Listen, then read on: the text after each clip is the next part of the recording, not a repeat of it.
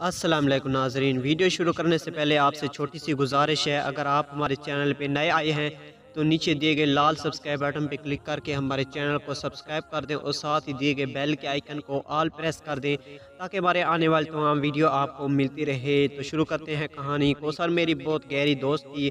घर भी पास था जब दिल करता, मैं उनके घर चली जाती और वो मेरे घर आ जाती। कोसर की फैमिली काफ़ी मॉडर्न और पढ़ी लिखी थी, जबकि मेरे अब्बा पढ़े लिखे नहीं थे। अम्मा अब्बा भी इन लोगों से मुतासर थे, इसीलिए कभी मुझे उनके घर जाने से मना नहीं करते। जब एग्ज़ाम करीब होते तो मैं ज़्यादा वक्त उनके घर ही गुजारता।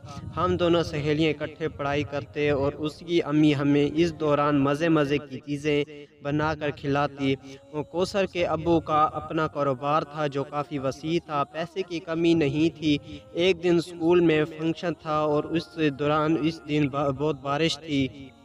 कोसर ने मुझसे मुझे को फ़ोन किया। कि तुम मेरी तरफ़ आ जाओ, पापा, हमें गाड़ी पर छोड़ाएँगे मैंने अम्मी से इजाज़त ली और उसके घर चली गई। इनका मुख्तार वैसे भी मेरा बहुत ख्याल रखते थे। इस दिन इनका मुख्तार हमें गाड़ी पर छोड़ने के चले गए और वापसी पर इनका मुख्तार हमें लेने के लिए आ गया। घर आकर मैंने इनका शुक्रिया अदा किया, वरना इतनी तेज़ बारिश में मेरा फ़ंक्शन में मिस हो जाता है। एक दिन शाह हमारे घर आई और कहने लगी, मैं सिलाई स्कूल में दाखला लेने लगी हूँ। तुम भी चलो साथ, इकट्ठे सिलाई सीखेंगे। मैंने कहा अच्छा दिल तो मेरा भी बहुत है।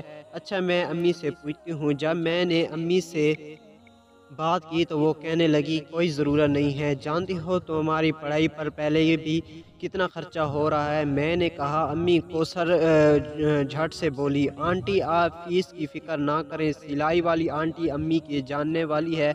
और वैसे भी अम्मी से कह देगी कि वो खुद ही कटी हम दोनों की फ़ीस अदा कर दे। कोसर के बहुत इसरार पर अम्मी राज़ी हो गई। यूँ हम दोनों ने सिलाई सेंटर में दाखला ले लिया।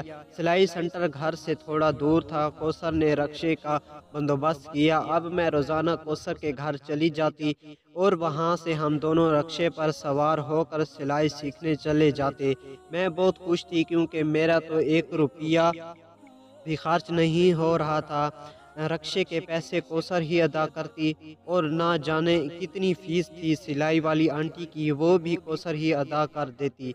वक्त गुजरता रहा और हमने बहुत अच्छी सिलाई सीख ली। छः महीने ऐसे ही गुजर गए और हम मुकम्मल सिलाई सीख चुके थे। जब कोस कोर्स मुकम्मल होने वाला था तो आंटी रजिया जो सिलाई सिखाती थी, कहने लगे, बहुत जल्दी हम यहाँ पर फ़ैशन डिज़ाइनिंग का डिप्लोमा भी शुरू करने वाले हैं। कोसर झट से बोली, वाह आंटी, आपने तो मेरे दिल की मुराद पूरी कर दी। मुझे बहुत शौक था फ़ैशन फ़ैशन डिज़ाइनिंग सीखने का। आंटी कहने कहने हाँ लेकिन ये देख लो, इसकी फ़ीस थोड़ी ज़्यादा होगी। मैंने कहा, आंटी, कितनी फ़ीस होगी?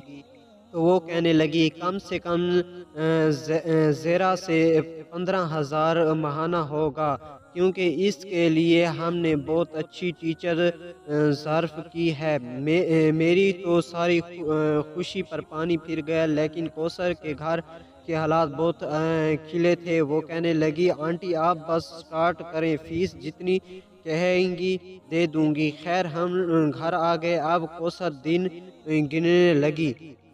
कि आंटी आंटी रज़िया कब डिप्लोमा स्टार्ट करेगी? एक महीना ऐसे ही गुजर गया और फिर एक दिन कौसर ने मुझे बताया कि आंटी अगले हफ़्ते से कोर्स शुरू कर रही है। मैंने कहा, देखो कौसर मेरे घर हालात तुम जानती हो। वो कहने लगी, तुम फ़िक्र नहीं करो, आज ही पापा से बात करूँगी। मैंने कहा, नहीं कौसर तुमने पहले ही सिलाई की फीसें दे दी है, थी, अब मैं और तुम्हारे ऐसा नहीं लेना चाहती। वो कहने लगी, यार, बस तुम तैयारी करो, तुम देखती जाओ मैं क्या करती हूँ। फ़ीस का बंदोबस्त भी हो जाएगा और और तुम्हें किसी का एहसान भी नहीं लेना पड़ेगा। और फिर ऐसा ही हुआ। कौसर ने अपने पापा से कहा कि वो फ़ैशन डिज़ाइनिंग का डिप्लोमा करना चाहती है और उसकी फ़ीस छब्बीस हज़ार रुपये है। इसके पापा ने फ़ीस इसके हाथ पर रखी और वो सीधी भागी भागी मेरे घर आई और अपना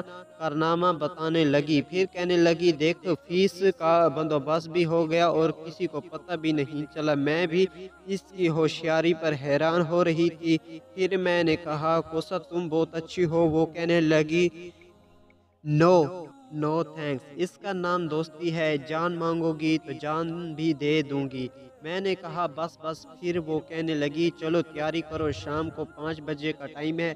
वक्त गुजरता रहा गुजरता रहा है और हम दोनों डिप्लोमे में मसरूफ़ हो गए। एक रोज़ शनाजे के घर गए तो उनका मुख्तार घर पर थे। मेरे पूछने पर उन्होंने बताया कि, कौसर, अपनी अम्मी के साथ बाज़ार गई हैं। फिर जल्दी से मेरे करीब आए और कहने लगे, तुम बैठो काफ़ी देर की गई हुई हैं, बस आने ही वाली होंगी। फिर मेरा हाथ पकड़ा और मुझे कमरे में बिठा दिया। मैंने कहा इनका अंकल, मैं चलती हूँ, कोई बात नहीं, आज हम छुट्टी कर लेंगे। वो साथ ही मेरे पास सोफे पर आकर बैठ गए। और मेरे कंधे पर हाथ रख कर कहने लगे, तुम बहुत खूबसूरत हो, मैंने कहा, अंकल ये कैसी बात कर रहे हैं? कहने लगे, समझने की कोशिश करो, तुम जानती हो कि कोसर की अम्मी को तो किसी चीज़ का सलीका ही नहीं है। ये तो बस मैंने अपने बुज़ुर्गों के कहने पर यह शादी की थी और अब गले पड़वाए बेचारा फिर रहा हूँ। तुम खुद बताओ कोसर की अम्मी मुझसे बड़ी लगती है कि नहीं? मैंने कहा अंकल आप प्लीज़ मुझे जा, जान जाने दे ये आप लोगों के घर का मामला है मुझे क्यों बता रहे हैं? लेकिन शायद उसके उसी दिन मेरी किस्मत में ये सब लिखा था अंकल ने दरवाजे के अंदर से कुंडी लगाई और फूल जैसी गुलाब की कली को बड़ी बेदर्दी से रौन डाला। जब अंकल ये घुनना काम खेल चुके तो उन्होंने दरवाज़ा खोल दिया। अभी थोड़ी ही देर गुजरी थी कि कोसर और उसकी अम्मी बाज़ार से वापस आ गई। कोसर, क्या अम्मी तो अपनी चीज़ें समेटने लग गई और कोसर मुझे अपने रूम में ले आई और अपनी शॉपिंग दिखाने लगी। थोड़ी ही देर में उसने नोट कर लिया कि कोई गट बड है। फिर मुझसे कहने लगी, क्या बात है? आज मूड ऑफ़ लग रहा है। मैं रोने लगी, वो कहने लगी, सच बताओ, क्या बात है? मैंने सारी बात कोसर को बताई। मेरी बात सुन सुनते ही उस पर सख्ता तारी हो गया। वो जहाँ बैठी थी, बिन बात बिन कर बैठी रही। काफ़ी देर ऐसे ही गुजर गई।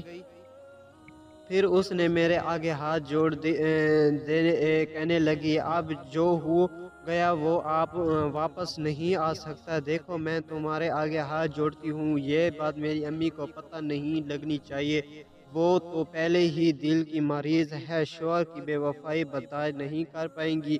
अब मेरा दिल चाह रहा था कि अभी कोसर की अम्मी सारी बात बताऊँ, लेकिन आज कोसर के एहसानात के आगे मजबूर हो गई। इसके कहने पर दिल पर पत्थर रखा और घर आ गई। अब मैंने कोसर के घर जाना बंद कर दिया था। अब कोसर खुद ही रक्शे वाले को लेकर मेरे घर आ जाती और फिर यहाँ से हम दोनों एकेडमी चली जाती। कुछ माह तो खैरियत से गुजरे गए। फिर ऐसा ऐसा उस वाक़ को भूलती जा रही थी लेकिन मुझे क्या पता था कि आगे एक और मुसीबत मेरा इंतज़ार कर रही है। एक दिन जब अकेडमी से वापस वापसी पर आ, मेरी तबीयत ज़्यादा ख़राब हुई तो अम्मी मुझे लेकर डॉक्टर के पास चली गई। डॉक्टर ने चेक किया कि तू तो कहने लगा अम्मा जी आप अपनी बेटी को किस लेडी डॉक्टर को चेक करवाएँ? खैर, मैंने कुछ दवाइयाँ लिख दी हैं, उससे इसकी तबीयत संभल जाएगी। घर आकर अम्मी बहुत परेशान हुई, मुझसे कहने लगी, पता नहीं, डॉक्टर ने ऐसी बात क्यों कही है? लेकिन अम्मी मुझे लेकर लेडी डॉक्टर के पास गई। जब लेडी डॉक्टर ने बताया कि मैं उम्मीद से हूँ तो माँ के तो हाथ, पैर सुन हो गए। घर आए तो अम्मा का पार बहुत हाई था। अम्मा बस बोल उठती जा रही थी और मैं गुंगी भैरी बनकर सर झुकाकर बैठी थी। अम्मा कहने लगी बहुत बता कौन है वो ना मर्द जिसने तेरे साथ ये हरकत की है? जब अम्मा ने बहुत इसरार किया तो मुझे सब कुछ बताना ही पड़ा। ये सुनकर अम्मा उसी वक्त कोसर के घर चली गई। इनका मुख्तार घर पर ही थे। अम्मा तो जाते ही, ही उन पर छड़ तोड़ दी। जब कोसर की अम्मी को यह बात पता चली तो कोसर का अंदेशा बिल्कुल दुरुस्त साबित हुआ। उनकी तबीयत इतनी ज़्यादा ख़राब हुई कि उनको इसकी वक्त हॉस्पिटल ले जाना पड़ा। उसकी इनकी ये हालात देखते हुए अम्मा खामोशी हो गई और इनको घर वापस आना पड़ा। वरना मैं जानती थी कि आज अंकल मुख्तार की खैर नहीं है। कुछ दिन के बाद जब कोसर की अम्मी ठीक होकर घर आई तो उसने आते ही अपने शोहर से तलाक का मुतालबा कर दिया। अब एक तरफ़ कोसर परेशान बैठी थी और दूसरी तरफ़ मैं अपनी मुसीबत में फंसी बैठी थी। कोसर की अम्मी घर छोड़कर अपने मैके चली गई। अब किसी की भी कुछ समझ में नहीं आ रहा था कि क्या किया जाए। जब जब अम्मा ने कोसर के बाप को प्रेशर डाला तो वो मुझसे शादी करने के लिए तैयार हो गए। जब ये कोसर को पता चली तो वो मुझसे लड़ने मेरे घर आ गई कहने लगी कुछ तो शर्म करो अपने बाप की उम्र की आदमी से शादी कर, करने लगी हो।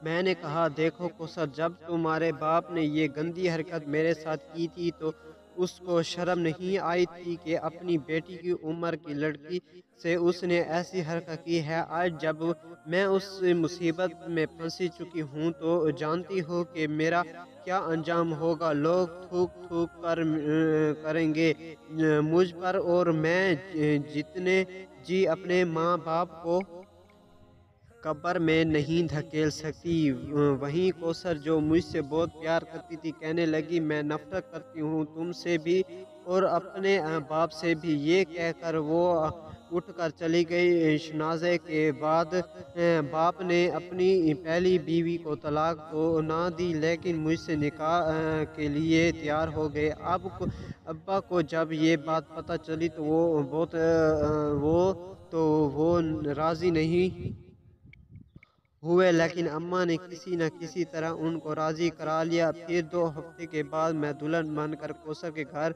आ गई। कोसर ने तो मुझसे कलाम कर करना ही छोड़ दिया। जब कोसर की अम्मी को ये बात पता चली कि अब मैं उनकी सोखन बन चुकी हूँ तो वो घर वापस आ गई। पहले तो शोहर से खूब झगड़ी, फिर उसने मेरे बाल पकड़े और मुझे घसीटते हुए घर से बाहर निकाल दिया। मुख्तार साहब जवाब मेरे शोहर बन चुके थे। मैंने उन्हें सारी बात बताई। मुझे आ, अम्मा आ, अपने पास ले आई और फिर मुख्तार को फ़ोन किया कि इन हालात में अपनी बेटी को तुम्हारे घर नहीं छोड़ सकती तुम्हारी बीवी तो मेरी बेटी को जान से मार देगी।